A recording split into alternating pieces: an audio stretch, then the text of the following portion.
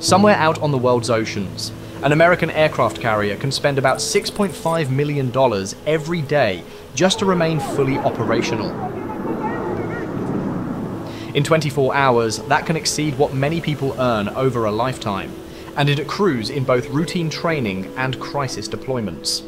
The USS Gerald R. Ford drew attention for its roughly $13.3 billion construction price, but that figure is only the beginning. The larger, ongoing cost is what it takes to keep a carrier, its air wing, and its support ships ready to deploy on short notice. A modern carrier is a floating city with an airport on top. Thousands of people live aboard. Tens of thousands of meals are produced each day. Aircraft launch and recover in constant cycles, and each hour in the air can cost tens of thousands of dollars. In higher tempo operations, when flight schedules and logistics intensify, total daily costs can rise beyond $8 million. The costs fall into five buckets personnel, aircraft operations, nuclear support, ship maintenance, and the escorting strike group known as the Carrier Strike Group. Together, those categories explain how one ship can approach $2.5 billion per year in operating expense. The USS Gerald R. Ford is about 1,100 feet long and displaces more than 100,000 tons when fully loaded. Its scale is obvious, but the most expensive part is not steel. It is the workforce required to run the ship continuously. Roughly 5,680 sailors and officers live aboard for months at a time. They need food, berthing, medical and dental care, training, and the basics of daily life that have to be delivered inside a self contained environment.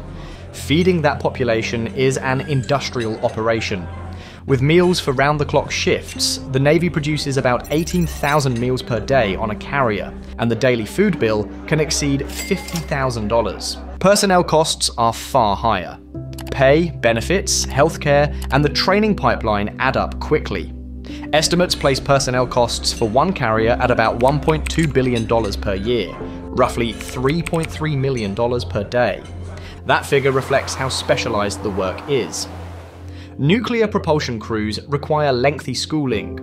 Aviation maintenance teams service aircraft with complex engines and electronics. Radar and combat system operators manage equipment worth hundreds of millions of dollars. The carrier's capability depends on that expertise, and expertise is expensive. The carrier also does not operate alone. It normally sails as the centerpiece of a carrier strike group, often alongside about five destroyers and cruisers, supported by a fast attack submarine and supply ships. When those additional crews are included, the total headcount tied to one strike group typically totals several thousand personnel across the group, and every sailor brings the same long list of costs, pay, training, food, and support. Readiness adds its own burden. Flight deck operations run in all weather, day and night, Engineering teams monitor propulsion and electrical systems without pause. Damage control and medical teams drill for emergencies because small problems at sea can escalate quickly. A carrier is built to be ready for combat at any moment, and that standard drives constant spending. The next major cost is the aircraft. A carrier typically embarks 60 to 80 aircraft, including fighters, electronic warfare aircraft, airborne early warning platforms, and helicopters. Buying them costs billions, but operating them is the real drain. Flight hours add up fast. An FA-18 Super Hornet can cost more than $10,000 per flight hour, and the F-35C can exceed $30,000 per flight hour. Those figures include fuel, maintenance labor, inspections, parts replacement, and system checks after every landing. The performance out here has been nothing but sensational. Aviation fuel is consumed in enormous quantities. During routine operations, a carrier can use about 20,000 gallons of aviation fuel per day. During intensive operations, consumption can rise beyond 150,000 gallons daily. At typical prices, aviation fuel alone can top $350,000 in a single high tempo day. Maintenance is continuous because carrier aircraft operate in salt air, land under heavy stress, and run at extreme engine loads. The Navy has estimated that operating the air wing assigned to a carrier can cost about $1.8 billion per year, roughly $5 million per day, before ship costs are even counted. When a carrier is used for sustained combat operations, the pace multiplies those expenses.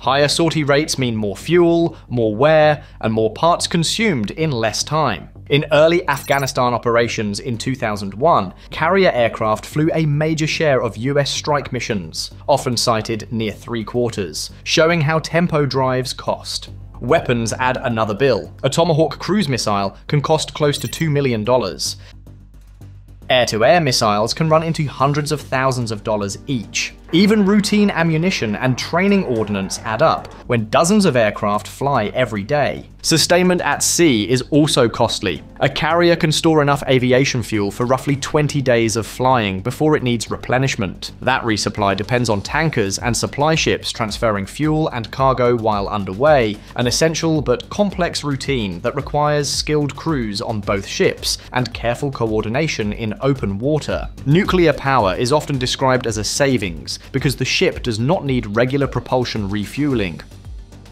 the USS Gerald R. Ford uses two A-1B nuclear reactors designed to run for decades between refueling and to generate vast electrical power for ship systems. The Navy has estimated total life cycle nuclear fuel costs around $975 million, averaging about $19.5 million per year, or roughly $53,000 per day. The higher cost is operating the nuclear enterprise safely, training nuclear qualified crews, retaining them, and maintaining strict testing and inspection programs.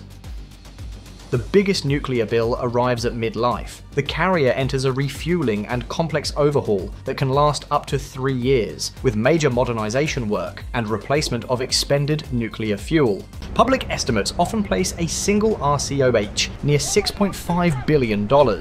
Nuclear propulsion still brings important operational advantages. With less space devoted to propulsion fuel, the ship can carry more aviation fuel and weapons, including large stocks of JP-5 for the air wing. It also allows the carrier to sustain high-speed transits for long periods without needing to refuel itself, which can matter when rapid positioning is required. Those advantages rely on a broader support network, specialized facilities, training sites, laboratories, and shipyard capabilities. The cost of that infrastructure is spread across the nuclear fleet, and each carrier effectively shares in it. Even on days when the ship is not launching large numbers of aircraft, maintenance spending remains high. Saltwater corrosion, mechanical wear, and software intensive combat systems require constant upkeep, and small failures can become major repairs if they are not caught early. The Ford class introduced many new or upgraded systems compared with the Nimitz class, including the electromagnetic aircraft launch system, advanced arresting gear, and dual band radar. New technology can improve performance and efficiency, but it also increases short-term maintenance demands as crews and supply chains adapt. Routine upkeep can run around $1 million to $2 million per day, covering repairs, inspections, cleaning, painting, software updates, and replacement of worn components. Periodic shipyard maintenance adds major costs in bursts, sometimes reaching hundreds of millions of dollars during planned overhauls. Over the long run, the Ford class is designed to reduce costs through automation, smaller crew requirements, and fewer major maintenance periods over a 50-year service life. The Navy has projected savings of about $5 billion per ship compared with older designs, but those savings are measured in decades, not in the early years of service. Finally, the carrier's daily cost is inseparable from the strike group around it. Escorts such as Arleigh Burke class destroyers, and when present, Ticonderoga class cruisers provide air defense and missile capability. A Virginia class attack submarine adds underwater protection, and logistics ships keep the force supplied. Each vessel brings its own fuel, maintenance, and crew costs. Counted together, the full strike group can run close to $8 million per day. That is the full package required to keep the carrier not just afloat, but defended, supplied, and ready to operate far from friendly ports. The Navy treats that spending as the cost of a mobile airbase that does not depend on local politics. Land based aircraft need airfields and host nation permission, and access can be denied. Long range bombers can strike from afar, but cannot maintain the same sustained presence overhead. A carrier can remain offshore for months, launching fighters, helicopters, surveillance aircraft, and support missions from a single deck. Carriers have also shaped past campaigns and crises. In the Korean War, carrier aircraft were often credited with about 41% of American combat missions. In Vietnam, carriers provided more than half of the air raids against North Vietnam. In 2003, when some regional basing options were limited, carriers helped generate thousands of sorties during the opening month of the Iraq invasion, including about 8,000 sorties from five carriers. Beyond combat, carrier deployments are used for signaling and deterrence. A strike group arriving near a hotspot is visible, both to allies and to competitors, and it can create pressure without immediate escalation. That presence is one reason carriers remain politically and militarily attractive despite their cost. The United States has operated 11 aircraft carriers for years and has planned a transition toward a fleet centered on Ford class ships as older Nimitz class carriers retire. The debate over vulnerability, cost, and necessity continues, but the capability remains unique. In the end, $6.5 million per day is not one expense. It is the combined cost of people, aircraft operations, nuclear support, constant maintenance, and a protective strike group operating as a single system.